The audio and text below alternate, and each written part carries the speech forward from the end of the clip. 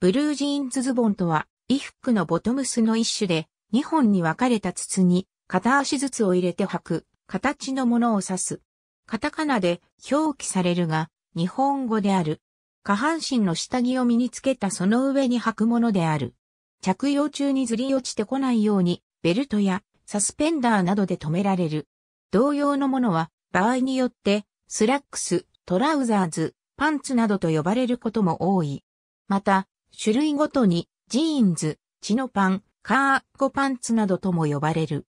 現在は、ファッション業界を主として、英語圏内で、現在主に流通している、パンツに即して、パンツという呼び方も、勢力を増しつつあるが、一般的な日本語としては、ズボンという呼び方の方が、今なお根強い。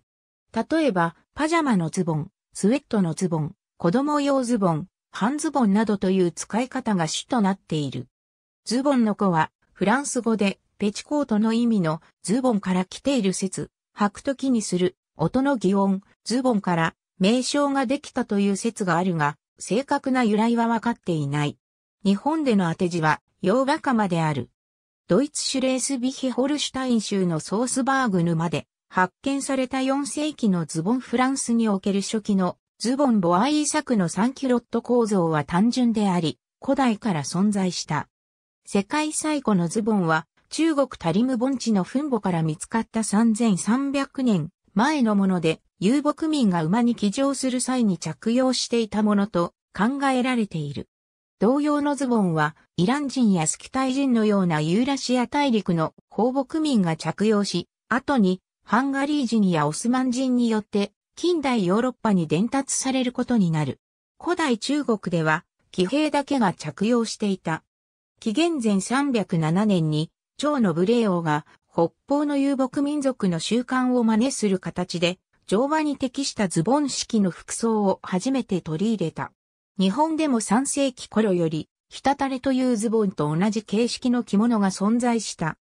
古代からヨーロッパの文化に歴史上の要所で紹介されたが、用いるのは貴族階級に限られ、一般人にまで普及したのは16世紀以降の近世からである。ズボンの英名であるトラウザーズという単語は中世、アイルランドのトルーアスから来たゲール語を起源としている。英語のトラウザーズが単数型ではなく複数形なのは15世紀に男性たちが着用していた別々のホースがその起源だからである。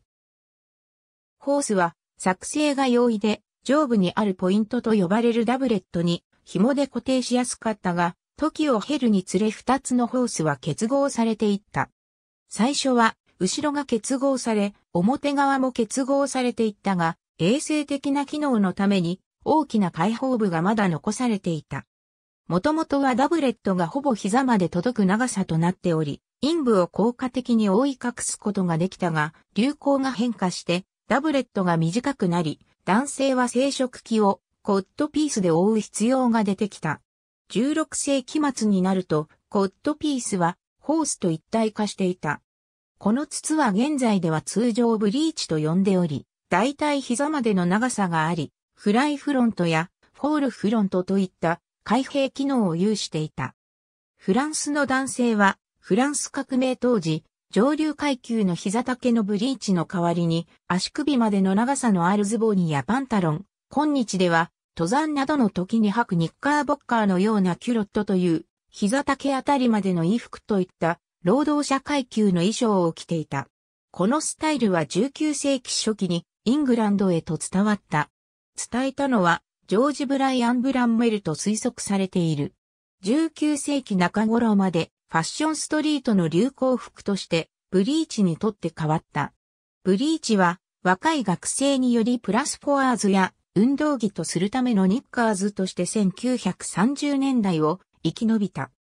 水兵は世界中のファッションとしてのズボンを普及させる役割を担ったと推測される。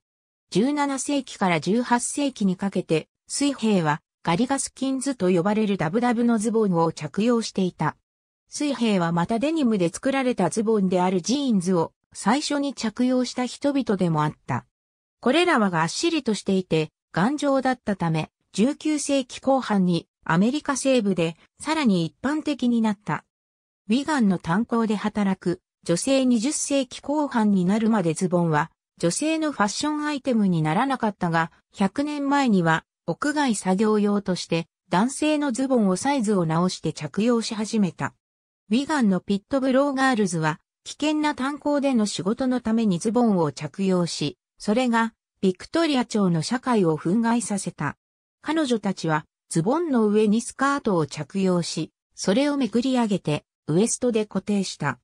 19世紀アメリカ西部の牧場で働く女性もまた乗馬のためにズボンを着用し、また20世紀初期には女性飛行士などの女性もよくズボンを着用していた。女優のマレーネ・ディートリヒとキャサリン・ヘプバーンは1930年代からズボンを履いた格好で写真を撮り、ズボンが女性にも受け入れられる一助となった。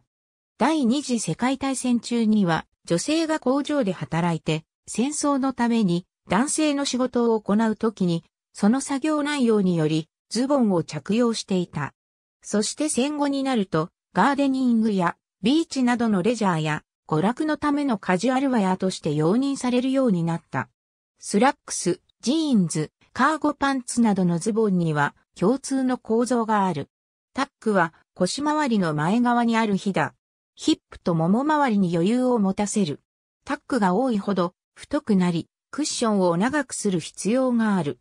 前開きズボンの前立ての留め具には、ボタンとファスナーの二通りがある。ズボンの前立てが開いたままのことを俗に社会の窓が開いていると言った。英語ではオープンフライと呼ぶ。後ろポケットはボタン付きの方が型崩れを起こしにくい。股上は前側の股から腰までの長さ。股上が大きいズボンを股上が深いという。下に行くほどスラックスが長くなる。クッションが短いほどスラックスを細く、タックを少なくする。スラックスの裾はかかとから1から2センチメートルの上あたりであり、必ず靴を履いた状態で測る。ありがとうございます。